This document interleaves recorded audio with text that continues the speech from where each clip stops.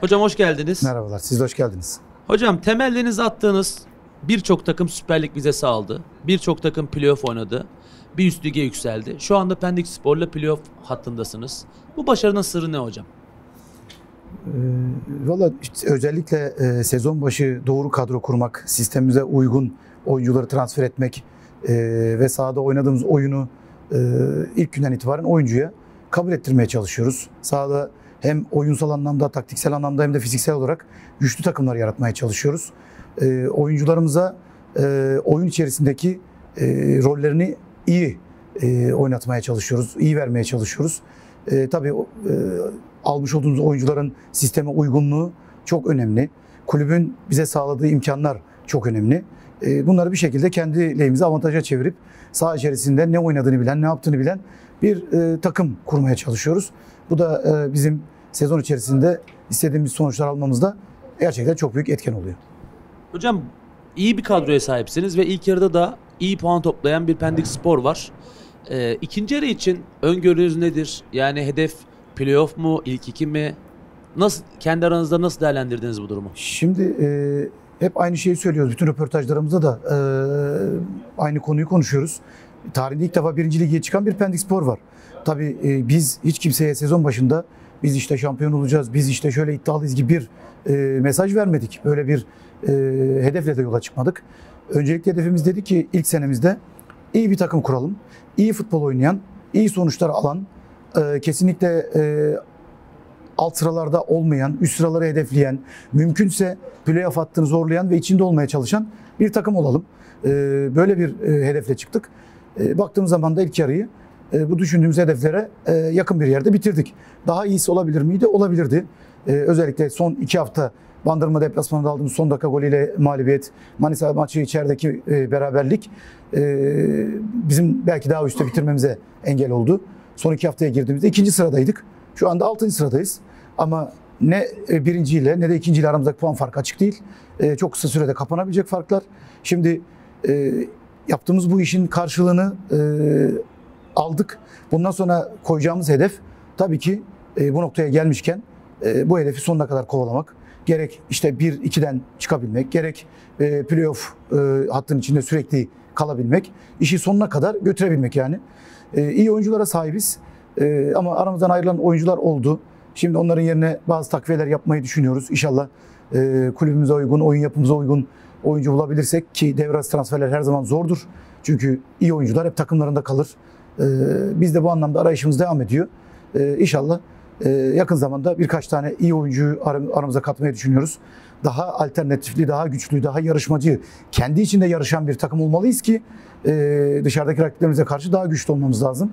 Özellikle ilk yarı e, biraz kulübeden gelen oyuncu katkısı konusunda sıkıntı yaşadık. Belli oyuncuların üzerinde e, gitmeye çalıştık. Onlar bizi bu noktaya taşıdılar.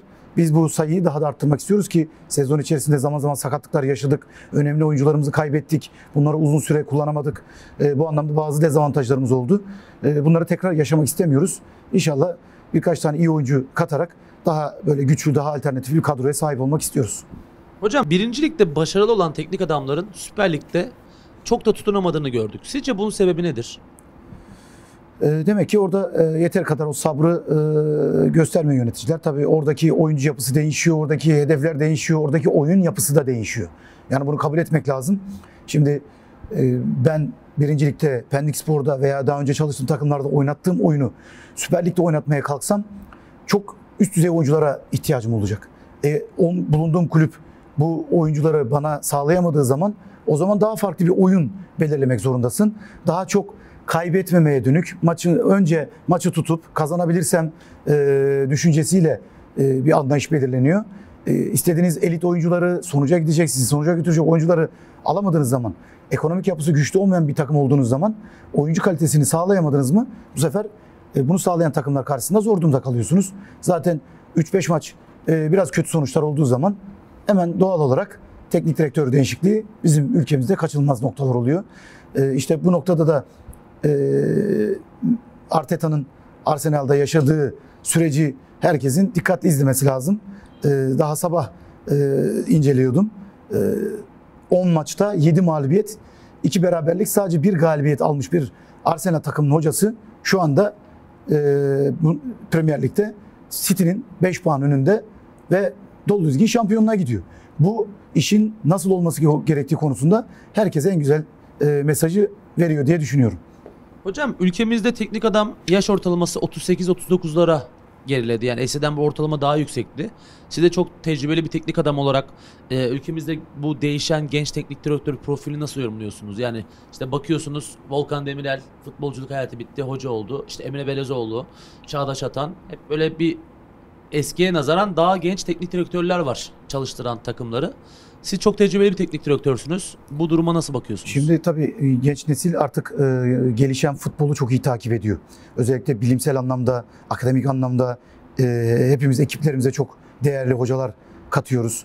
İşin bilimsel tarafını, performans tarafını daha yukarılara çıkarmaya çalışıyoruz. Geçmişte böyle imkanlar yoktu. Bizden büyük hocalarımızı bu konuda çok fazla eleştiremeyiz. Onların dönemindeki imkanlar e, daha kısıtlıydı. Antrenman şartları, sahalar, imkanlar daha kısıtlıydı. E, şimdi özellikle Avrupa'da gelişen bir e, antrenman sistemi var. Bilimsel anlamda bu antrenman seviyesini çok yukarılara çıkaran teknik adamlar var. Oyun sistemleri çok değişti. Oyun, oyun içerisinde çok fazla aksiyonlar değişiyor. Oyun içerisinde oyunculara e, yüklenen yük daha da artıyor. Yani zaman zaman bakıyorsunuz sistemlerde sağ bek, sol bek merkeze giriyor, orta saha oluyor, kenar oyuncuları kenara açılıyor, farklı rotasyonlar yapılıyor. Oyun içerisinde rakibi çözebilmek adına e, farklı e, sistemler oynanıyor. E, bu değişimler e, hepimizin dikkatini çekiyor. Biz de bu konuda araştırıyoruz. Büyük takımları, e, üst seviye hocaları e, takip ederek, onların oynattığı oyunları izleyerek, analizlerini yaparak kendimizi daha fazla geliştirmeye çalışıyoruz. E, eski hocalar biraz daha kalıplaşmış, kendi kafalarında, kendi dönemlerinden kalan e, bazı sistemleri var. Onların çok fazla dışına e, çıkamıyorlar. E, ama şu dönemde e, bu konuda biz daha avantajlıyız diye düşünüyorum. E, tabii iyi hocalarla çalışmak, özellikle işte e, ülkemizde Fenerbahçe, Galatasaray, Beşiktaş, Trabzon'da üst seviye hocalar hep çalışıyor. Ülkemize yeni yeni işte Pirlo geldi, İtalya'dan hocalar geliyor, farklı ülkelerden hocalar geliyor. E, onlardan oyuncuların gördüklerini futbolu bıraktıktan sonra e, kendi adlarına avantaj olarak kullanmaları bence çok önemli.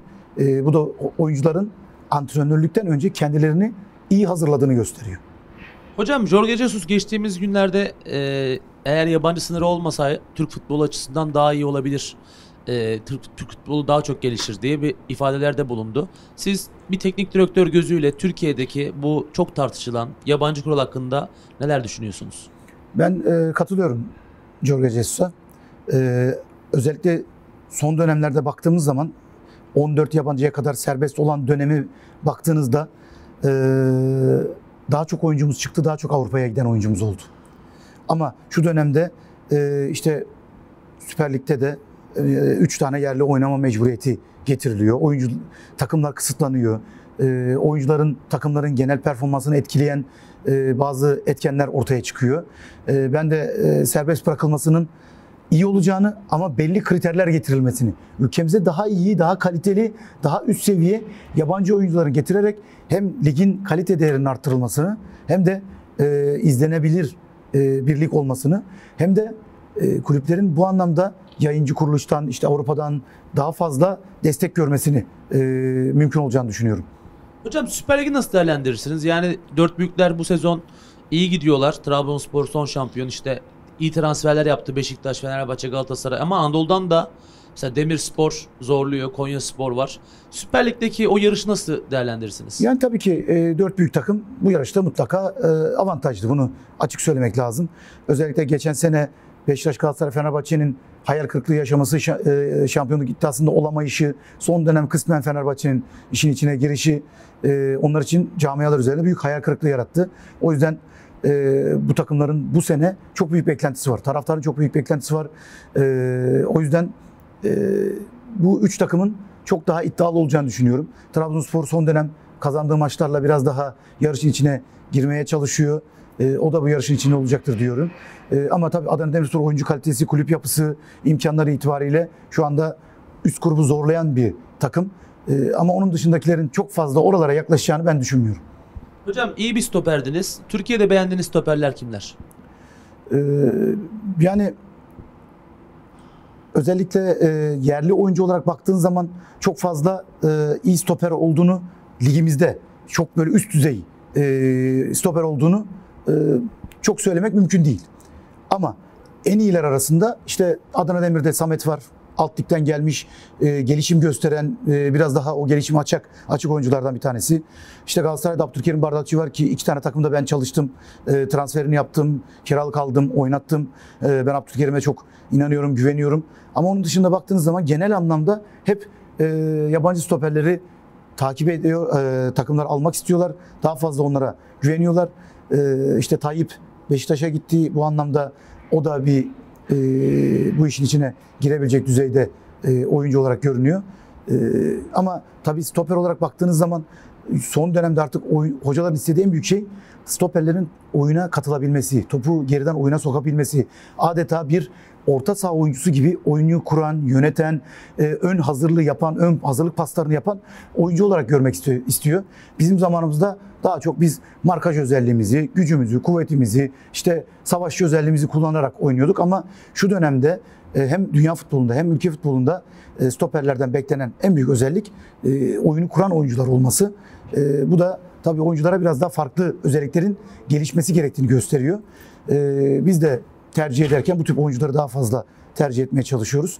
E, Ama Nelson mesela Galatasaray'da önü çok açık bir oyuncu.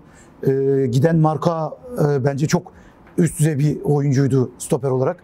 E, Yani işte Salah'ı var Fenerbahçe'de. Herkes belki çok abartıyor ama ben çok o kadar üst düzey bir oyuncu, olduğunu düşünmüyorum. E, Kim Mince çok yani şimdi belki ülkemizde yok artık oynamıyor ama e, bence günümüz futboluna en uygun stoperlerden hem ayakları iyi hem mücadeleci hem savaşçı hem çabuk e, çok böyle örnek bir oyuncu olarak gösterebilirim. Hocam Arda Güler son dönem performansıyla Türk futbol severleri heyecanlandıran bir isim. Belki de bizim geleceğimiz olacak. Bir teknik adam gözüyle Arda hakkında, Arda üzerine neler söylersiniz? Çok özel yetenekli bir oyuncu. Yani oyun zekası, teknik kapasitesi, e, oyuna hücumsal anlamda katkısı gerçekten çok e, üst düzeyde. Ama daha henüz çok genç.